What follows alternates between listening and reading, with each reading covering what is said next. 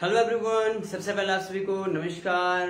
जूले, सत केम छो? सलाम वालेकुम। सबको मेरी तरफ़ से बहुत सारा प्यार और एमसीएन के ग्रुप के जितने भी सारे मेंबर्स हैं, सबको मेरी तरफ़ से बधाई है, क्योंकि हमारे जो ग्रुप का जो लॉगिन जो बना है लोगो जो बना है, ये बहुत ही शानदार है और बहुत ही अच्छा लॉगिन लोगो बना है।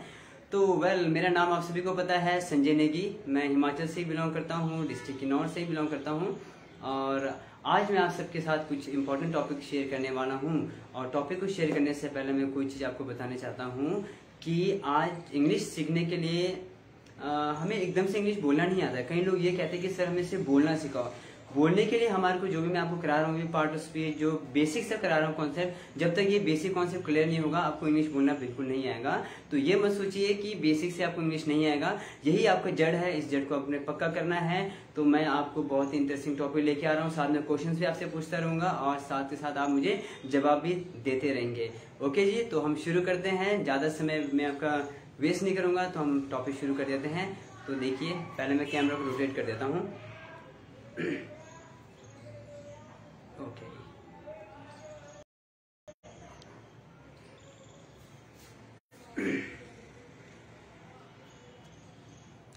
थोड़ा कैमरा सेट कर देता हूँ मैं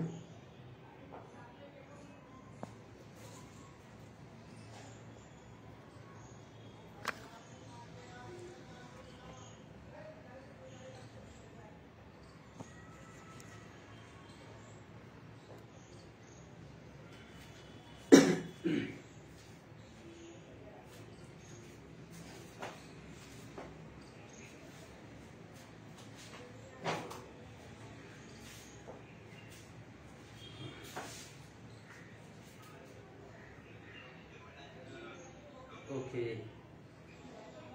तो आज हम टॉपिक स्टार्ट करने वाले हैं। आज टॉपिक का नाम मैंने डिस्क्रिप्शन में शो कर दिया है। तो टॉपिक का नाम है आज हमारा, वो है प्रोनाउन हमने नाउन कंप्लीट कर दिया था। आई होप कि आपको नाउन सब कुछ समझ आ गया होगा।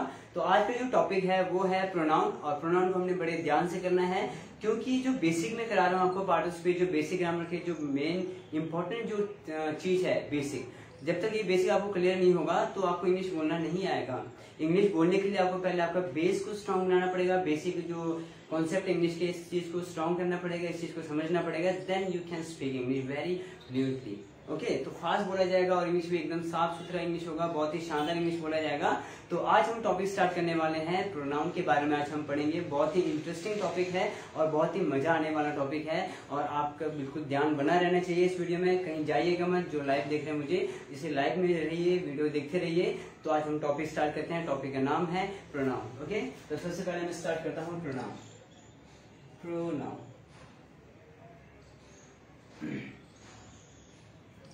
प्रोनाउंस का मतलब होता है कि मैंने आपको जब पार्ट ऑफ़ स्पीच का मैंने जो इंट्रोडक्शन कराया था मैंने there are nine types of part of speech ये बताया था मैंने, उसमें आपको नाउन का भी मैंने करा दिया था कि नाउन को हम नेमिंग वर्ड कहते हैं।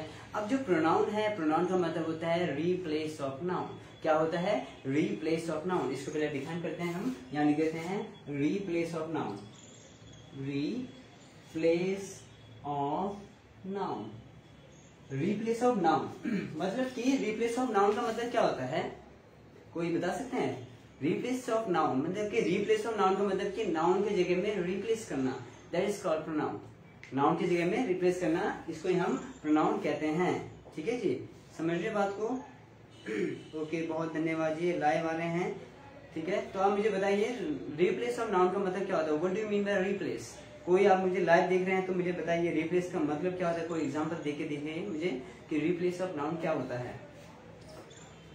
नहीं पता है? कोई बात नहीं, अभी लाइव आ ही रहे हैं तो पहले मैं करा देता हूँ, बाकी हम क्वेश्चन से डिस्कस करेंगे साथ के साथ, ठीक है? ओके रिप्लेस ऑफ़ नाउन का मतलब होता है कि नाउन के जगह में उसे रखना। जैसे मैंने पेन को रिप्लेस करूँगा मैं, किसी पेंसिल से रिप्लेस करूँगा। जैसे मान लो ये मार्कर है मार्कर की जगह में अगर मैं पेन यूज़ करूँ तो ये मेरा रिप्लेस हो गया, किसके जगह में? मार्कर की जगह में जो रिप्लेस हो गया कहते हैं हम रिप्लेस ठीक है? अब यहाँ पर नाउन की जगह रिप्लेस कैसा होगा? जैसे मैंने लिखा एग्ज़ाम्पल देता हूँ मैं।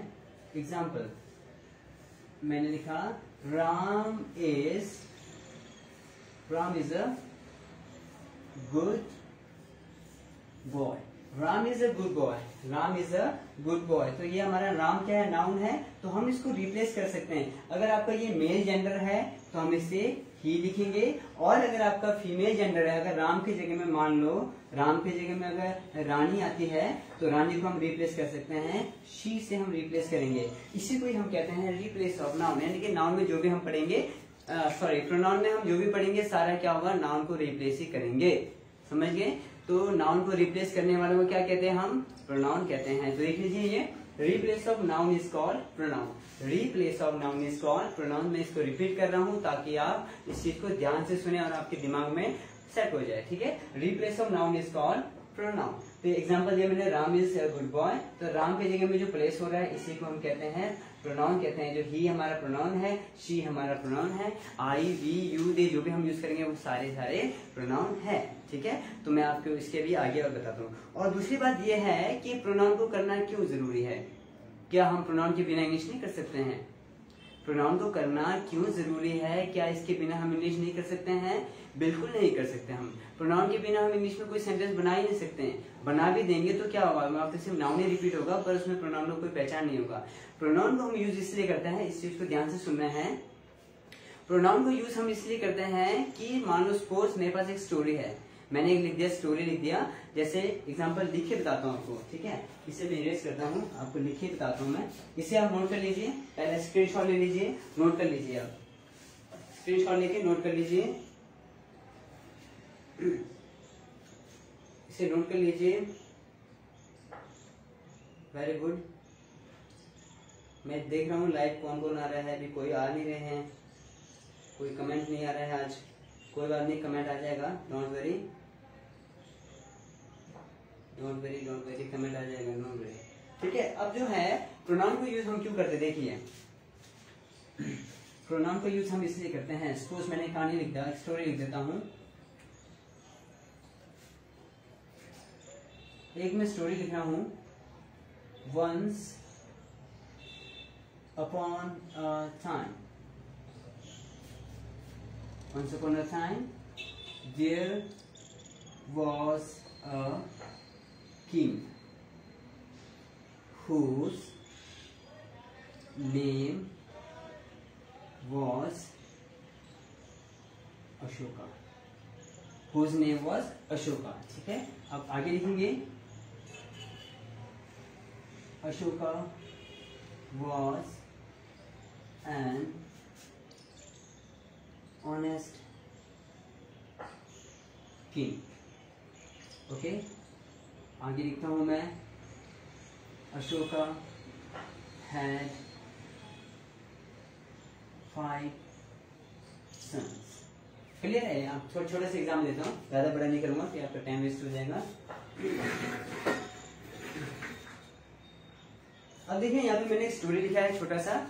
Once upon a time there was a king once upon a time यानी कि एक समय की बात है, एक समय की बात है देयर वाज अ किंग यहाँ पे कोई एक राजा था, क्या बात है? एक समय की बात है, एक राजा था हुज नेम वाज अशोका जिसका नाम क्या था? अशोका था. Ashoka was an honest king Ashoka क्या है? बहुत ही ईमानदारी राजा था. यानी कि बहुत ही ईमानदार था, बिल्कुल दयालु था. वो हमारा क्या था? अशोका वॉज़ ऑनेस्ट किंग बहुत ही ईमानदार राजा था. Ashoka had four five sons Ashok के कितने बच्चे थे? अशोका के पाँच बच्चे थे। अब देखिए, यहाँ पे ध्यान से देखिए, यहाँ पर स्टोरी में क्या है? बार बार अशोका रिपीट हो रहा है। बार बार रिपीट हो रहा है ना? अगर मैं इससे आगे भी लिखूँ तो अशोका मुझे बार बार लगाना पड़ेगा। बार बार लगाना पड़ेगा तो क्या होगा हमारा ये स्टोरी थोड़ा ऑफवर्ड सा लगेगा। यानी कि प्रोनाउन को यूज़ हम क्यों करते हैं? नाउन की रिपीटेशन को रोकने के लिए हमें प्रोनाउन करना बहुत ज़रूरी है।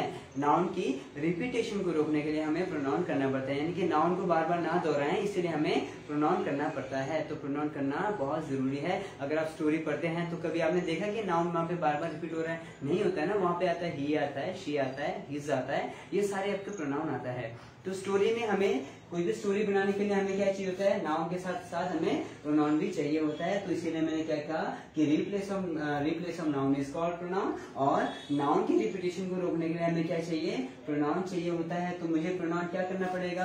तो मुझे बार बार अशोका लिखने की ज़रूरत नहीं है यहाँ पे। मुझे बार बार अशोका नहीं लिखना है। तो अशोका को मैं काट दूँगा। अशोका क्या है? मेल जेंडर है। तो यहाँ पे हम लिखाएँगे ही one who was whose name was Ashoka, he was an honest king. ठीक है यहाँ तो हो गया फुल स्टॉप देन अगला लिखने के लिए हमें क्या करना पड़ेगा? आगे लिखना पड़ेगा ही ही हैड फाइव सन जो यहाँ पे ही आ रहा है यही तो हमारा क्या है? यही तो हमारा क्या है? प्रोनाउन है. ये हमारा क्या है जी?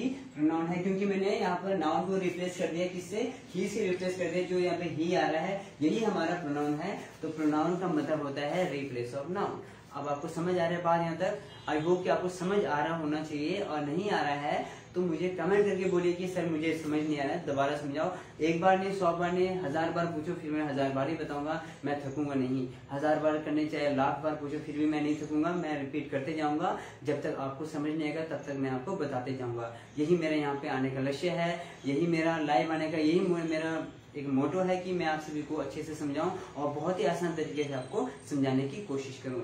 ठीक है जी? वेरी गुड अब इसे आप फ़ोटो ले लीजिए स्क्रीन ले लीजिए या नोट कर लीजिए। अगर आप कॉपी पेन लेके बैठे हैं तो साथ ही साथ नोट कर लीजिए। बहुत अच्छे कमेंट आने शुरू हो गया है। कृपया शेयर कर रहे हैं okay Ajay Kumar good evening ji. Very good evening Ajay Kumar ji very good evening Negi Shanshu very good evening sir ji. Very very good evening and Santosh watching Ajay Kumar yes got it very good yes got it yes नाम बहुत difficult लगता है मुझे। क्या है चोंकू चौंकनेगी चौंकनेगी yes sir got it very good ji thank you so much आपको समझ आ रहा है? Very appreciate okay camera blur सा हो रहा है. मैं कैमरा चेक कर लेता हूँ. वेरी गुड आप इसे नोट कर लीजिए साथ के साथ. आप इसे साथ के साथ नोट कर लीजिए, क्योंकि नोट नहीं करेंगे तो समझ नहीं आएगा. साथ के साथ आप इसे नोट कर लीजिए. बहुत अच्छी जी. ठीक है. तो ये समझ आ गया आपको कि हम प्रोनाउन को यूज़ क्यों करते हैं? प्रोनाउन को यूज़ हम इसलिए करते हैं नाउन की रिपीटेशन को रोकने के लिए प्रोनाउन करते हैं। एक बार मैं कैमरा चेक कर लेता हूँ, मेरा कैमरा ब्लड सेव कर रहा है। Let me check with here ठीक है। बहुत अच्छे। ओके तो अब मैं इसे इरेज कर देता हूँ। अगला हम करते हैं प्रोनाउन के कुछ टाइप्स होते हैं, वो टाइप्स हम कर लेते हैं। और इससे आपको और ज़्यादा समझ आ जाएगा। यहाँ तक समझ आ गया आपको? मुझे पता है आपको समझ आ गया है और हमेशा आपको समझ आता रहेगा जो मैं कराऊँगा वो समझ आएगा, इसे मैं मिटा देता हूँ। ठीक है जी।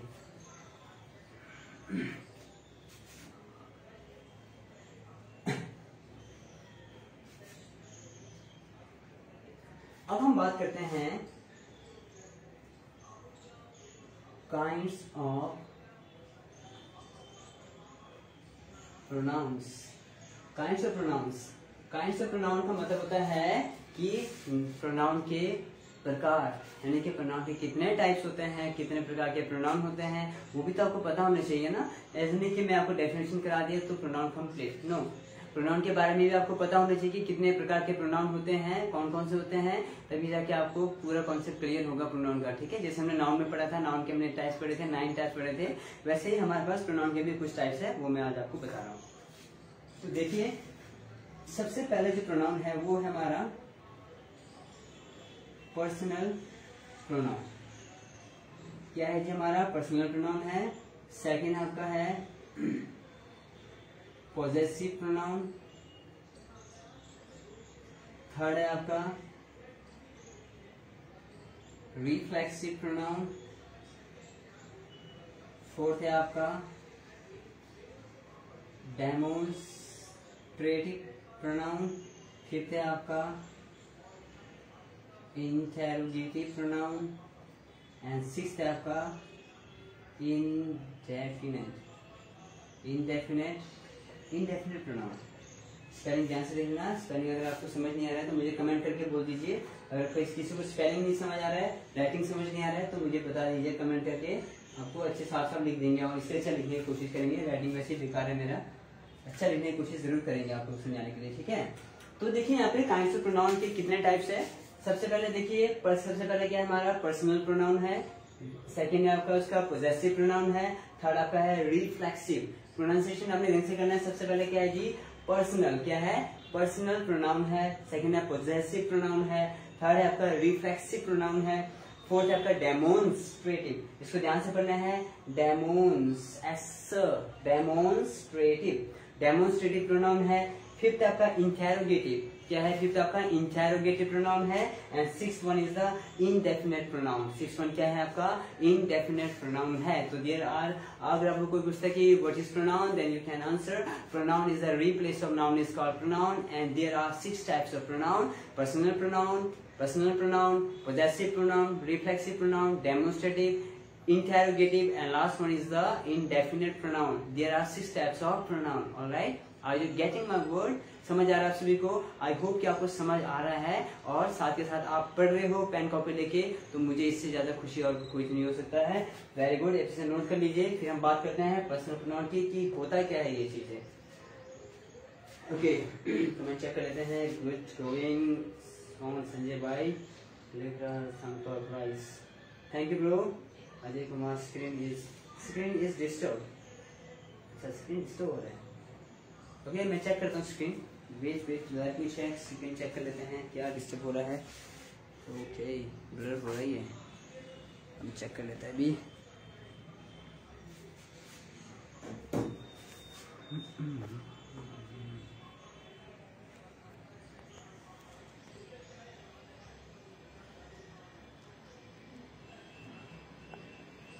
ओके आप स्क्रीन सही है। ब्लर नहीं होना चाहिए, काम खराब हो जाएगा। साफ़ साफ़ दिखने चाहिए सबको। बहुत अच्छे।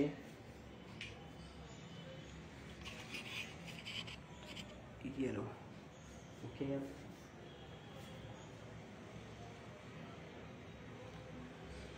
हाँ जी, अब स्क्रीन सब कुछ साफ़ दिख रहा है। मैं भी वैसे देख रहा हूँ, दूसरे फ़ोन में मुझे भी दिख रहा है। ओके तो स्क्रीन हमारा लगभग सही है। सब कुछ सही दिख रहा है। चेक कर लेता हूँ। हाँ जी, इसे नोट कर लीजिए आप। Now okay thank you Ajay bro thank you आप नोट कर रहे हो साथ में नोट इट वेरी नाइस बहुत अच्छे सारे नोट करो। कॉपी पेन लेके बैठना है, जब मैं क्लास में आता हूँ, यानी क्लास लगाने के लिए आ रहा हूँ तो कॉपी पेन रखना है, क्योंकि वो चीज़ मैं आपको कराने वाला हूँ, आप उसे साथ ही साथ नोट करते रहना है कॉपी पेन भी आपने साथ में रखना है। तो अब हम बात करते हैं पर्सनल प्रोनाउन की। वेरी नाइस पर्सनल प्रोनाउन की बात करते हैं, इसी में रिलेज कर देता हूँ, आप सभी ने नोट कर दिया है, बहुत अच्छे। अब हम पर्सनल प्रोनाउन की बात करते हैं, मैं सारा मिटाता हूँ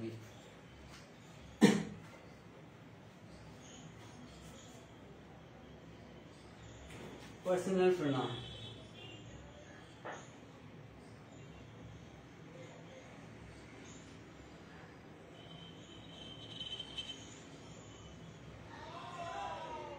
Personal pronoun personal pronoun क्या होता है? अब हम आपसे बात करेंगे, अच्छी तरह से समझाएँगे कि पर्सनल प्रोनाउन होता क्या है। तो लिखिए इसके बारे में पर्सनल प्रोनाउन के बारे में। हम लिखते हैं there are two types of personal pronoun. There are two types of personal pronoun देखिए there are two types of personal pronoun यानी कि यहाँ पे पर्सनल प्रोनाउन के कितने टाइप्स है? दो टाइप है कौन कौन से टाइप्स है?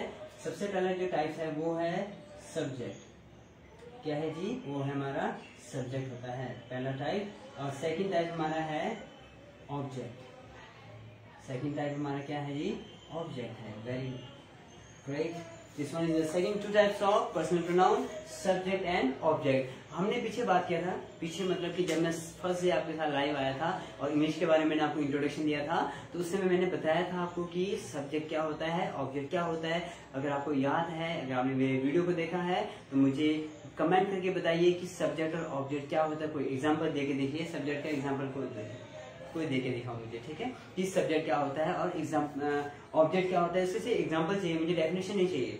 मैं सिर्फ़ एग्ज़ाम्पल चाहिए तो एग्ज़ाम्पल से मुझे क्लियर हो जाएगा कि आपको समझ आया है। आपने मेरे वीडियो को देखा है और नहीं देखा है तो आप एक बार देख लीजिए। एमसीएम एमसीएम के जो ग्रुप है, इसमें जो पहला जो जब मैं फ़र्स्ट डे आया था इंट्रोडक्शन जब आपका इंट्रोडक्शन कराया था इंग्लिश का तो वहाँ पे मैंने सब्जेक्ट एंड ऑब्जेक्ट के बारे में कराया है। ठीक है? नहीं करा, अगर आपको नहीं देखा है तो मैं भी करा देता हूँ। नो प्रॉब्लम ठीक है? तो मुझे एग्ज़ाम्पल दीजिए कि सब्जेक्ट क्या होता है और ऑब्जेक्ट क्या होता है, इसे एग्ज़ाम्पल दीजिए आप मुझे। कोई भी एग्ज़ाम्पल देके देखो। मैं चेक कर रहा हूँ अभी। मैं आपका कमेंट चेक कर रहा हूँ। लुक कमेंट चेक कर रहा हूँ मैं। हाँ जी। सब्जेक्ट और ऑब्जेक्ट का कोई एग्ज़ाम्पल दीजिए। सब्जेक्ट एंड ऑब्जेक्ट का एग्ज़ाम्पल कोई नहीं है। सब्जेक्ट एंड ऑब्जेक्ट का एग्ज़ाम्पल दीजिए। Sir kindly once again check your camera okay check यार कैमरा क्या हो रहा है कैमरा सही चल रहा है ये। इसको क्या करूँ मैं तो? कैमरा ब्लर सा हो रहा है। समझ नहीं आ रहा, हो क्यों रहा है ऐसा? क्या करना पड़ेगा मुझे अब?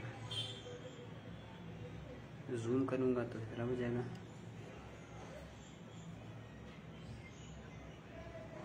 सब्जेक्ट शोंकू ने कीजिए subjective pronoun that act as subject as subject example I you बहुत अच्छे वेरी ग्रेट बहुत बढ़िया बहुत बढ़िया जी। अब मैं कैमरा सेट कर रहा हूँ थोड़ा सा मेरे कैमरा ने आज परेशान कर दिया आपको सो सॉरी फोकस मालूम हो रहा ना सेट नहीं हो रहा है। बस। दैट्स इट हाँ जी, चुंकू नेगी जी, बहुत अच्छे आपने एग्जांपल दिया जी, बहुत बढ़िया। यानी कि आपने कहा कि एग्जांपल दिया आई और यू का सब्जेक्ट के बारे में। यानी कि सब्जेक्ट आपने बताया कि pronoun pronoun that act as subject ठीक है जी, बहुत अच्छे, अगर आपको एग्ज़ाम्पल बहुत अच्छे है जी, बहुत वेरी गुड जी क्लैपिंग क्लैपिंग आप सभी ताली बजाएँगे हम नो प्रॉब्लम बहुत अच्छे।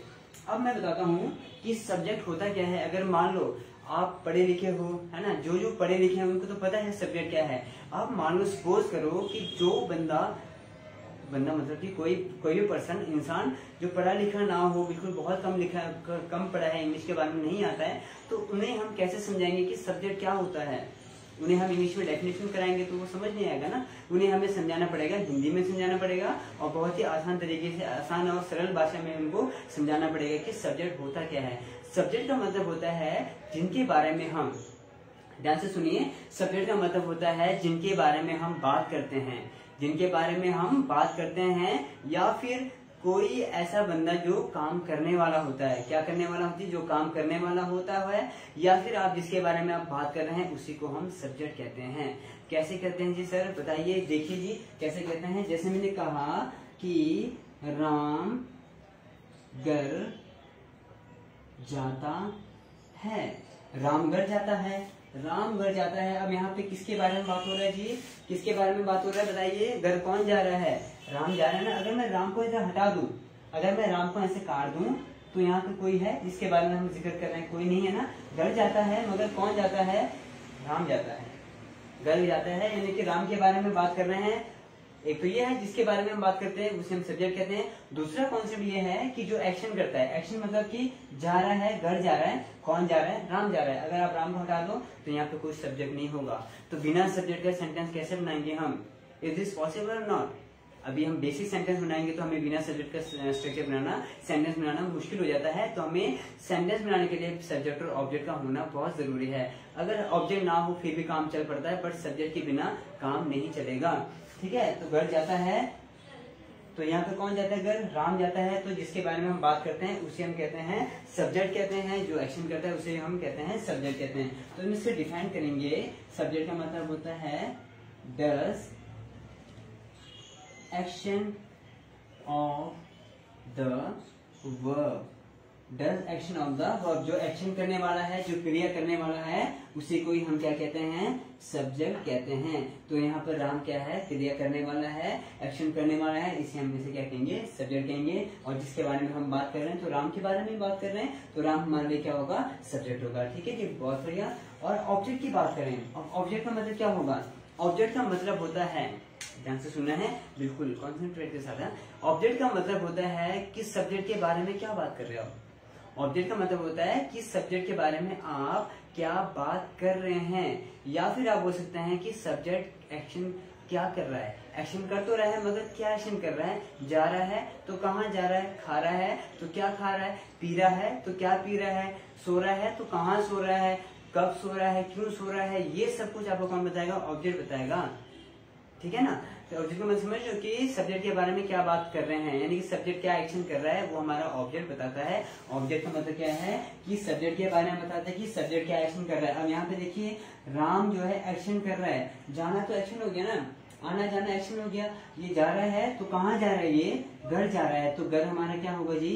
ऑब्जेक्ट होगा, क्योंकि एक्शन क्या हो रहा है, मगर कहाँ जा रहा है राम, जिसके बारे में बात कर रहे हैं। राम के बारे में एक्शन के बारे में बात कर रहे हैं, राम जा रहा है, मगर कहाँ जाता है राम? घर जाता है तो घर हमारा क्या होगा ऑब्जेक्ट होगा। तो हम इसे डिफाइन कर सकते हैं रिसीव इसे हम कर सकते हैं receive action of the work receive action of the work मतलब कि जो वर्क के बारे में बता रहे कि वर्क कैसा हो रहा है उसको रिसीव हो रहा है एक्शन रिसीव हो रहा है एक्शन हो रहा है मगर एक्शन कर तो रहा है मगर क्या कर रहा है एक्शन कहाँ के लिए कर रहा है गड़ जा रहा है कोई खा रहा है कोई पी रहा है सुन रहा है देख रहा है ये सारा कुछ आपका क्या है ऑब्जेक्ट बताएगा कि एक्शन का क्या हो रहा है ठीक है तो यानी कि यानी कि जो सब्जेक्ट है वो क्या काम कर रहा है वही हमारा ऑब्जेक्ट बताता है सब्जेक्ट क्या काम कर रहा है वो हमारा ऑब्जेक्ट बताता है तो ये आपको एग्ज़ाम्पल मैंने बता दिया है तो यहाँ पे घर हमारा क्या होगा ऑब्जेक्ट होगा बाकी जो जाता है, आना जाना, ये हमारा एक्शन होगा वर्ब होगा ये। क्लियर हो गया? वेरी गुड तो ये हमारा जाता है क्या है? ये हम लिख सकते हैं यहाँ पर एक्शन लिख सकते हैं, या फिर इसको वर्ब भी लिख सकते हैं, या फिर आप इसे एक्शन भी आप लिख सकते हैं। इसमें कोई प्रॉब्लम की कोई बात नहीं है। आप इसे वर्ब भी लिखो, चाहे एक्शन लिखो नो प्रॉब्लम ओके तो ये समझ आ गया आपको सब्जेक्ट के बारे में, और ऑब्जेक्ट के बारे में कि सब्जेक्ट ऑब्जेक्ट क्या होता है। ठीक है? तो मैं आपको एक एग्जांपल देता हूँ। आपने मुझे बताना है कि उसमें सब्जेक्ट क्या है और ऑब्जेक्ट क्या है। ठीक है जी? बहुत अच्छे। हाँ कमेंट चेक करता हूँ मैं साथ में साथ। कमेंट भी चेक करना ज़रूरी है। Ajay we are watching Sony TV okay we are watching Sony TV we is subject object is watching Sony TV bro very nice object आपका है। Watching Sony TV watching Sony TV तो ठीक है, मगर यहाँ पे जो वॉचिंग लगाया ना आपने वॉचिंग वॉच का मतलब होता है देखना, ये हमारा एक्शन होता है तो एक्शन ये ऑब्जेक्ट नहीं होगा। ब्रो आपने बहुत अच्छी कोशिश की है, यहाँ पे सोनी टीवी आपका क्या होगा? ऑब्जेक्ट होगा। सोनी टीवी आपका यहाँ पर ऑब्जेक्ट होगा वॉचिंग ऑब्जेक्ट नहीं होगा वॉचिंग हमारा एक्शन है वर्ब है तो ये आपका हेल्पिंग वर्ब भी लगा हुआ है इसमें, यानी कि मेन वर्ब का यूज़ हुआ है V one plus I N G watching I N G लगा है तो फोर्थ फॉर्म का यूज़ हो रहा है। तो वॉचिंग आपका इसमें क्या होगा? वर्क होगा ऑब्जेक्ट आपका सोनी टीवी होगा। बहुत अच्छी बात है, हम सोनी टीवी देख रहे हैं तो बी हमारा सब्जेक्ट है, और सोनी टीवी क्या होगा? आपका ऑब्जेक्ट होगा। ठीक है जी, बहुत बढ़िया। बहुत अच्छे। अब आपको मैं एग्ज़ाम्पल देने वाला हूँ। यहाँ से देखिए।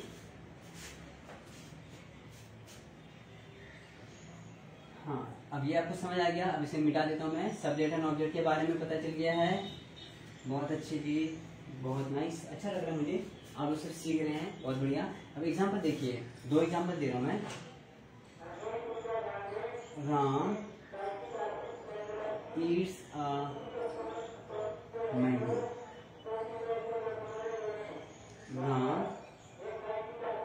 goes to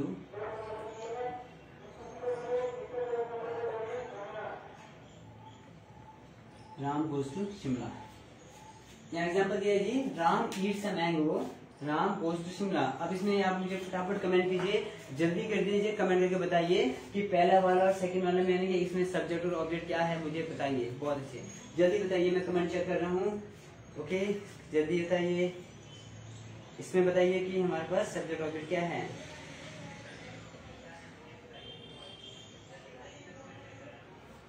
हरी अब गाइस हरी अब जल्दी कीजिए।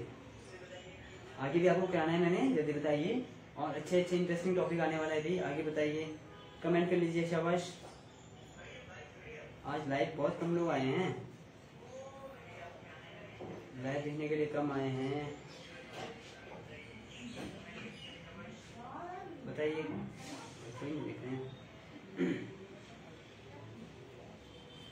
सब्जेक्ट अजय कुमार सब्जेक्ट बहुत nice very nice very great Ram Ram is a subject and mango is a object बहुत अच्छे Ram is a subject and mango is a object बहुत अच्छे सेकंड वाला बताइए. सेकंड वाला बताइए. सेकंड वाला बताइए.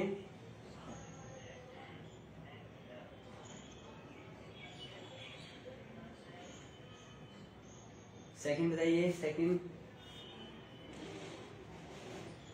okay subject is a Ram and object is a Shimla बहुत अच्छे।